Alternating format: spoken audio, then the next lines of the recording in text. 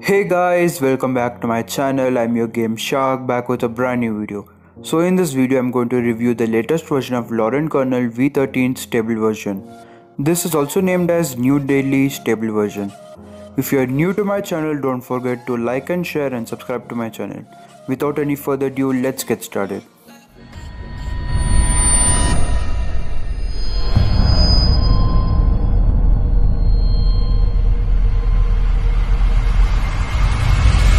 Before we continue into this video, make sure you have joined the telegram group of Lawrun Kernel.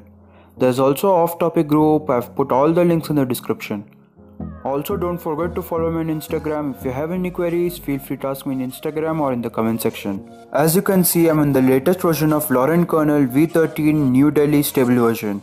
I'm using the overclock build with 69Hz display. I'm currently using Rome KT Pro VIP V12 Gaming 03 VN Beta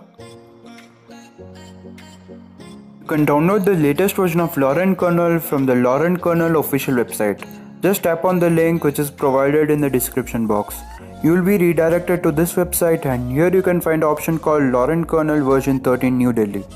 It is released on 19th of July. Here you can see the change logs and the notes which is given. Please go through these and you can find what is fixed. The major fixes are the UI reset and the screen freezing issue. Here you can find two major build, one is OC build and another is stock build. There's also available for Q frames and Pi frames too. Here I've downloaded overclock build with 69Hz display.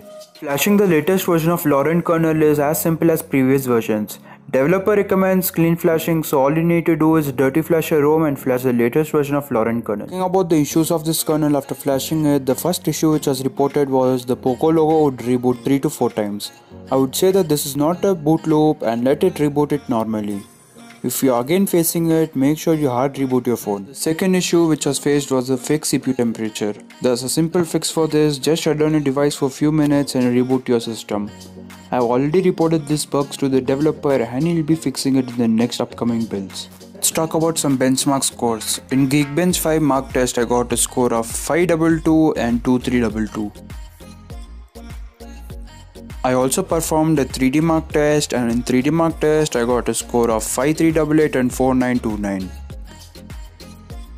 The maximum temperature I got while doing this test was 42 degrees Celsius. Now talking about the PUBG performance. The PUBG performance was really great using the latest version of Lawrun kernel. I would say that the latest version of Lawrun kernel is performing much more better than previous version. Now while performing the smoke test, the lowest FPS I got was 41. As you can see the KF mark reading says I've got the lowest as 41 FPS.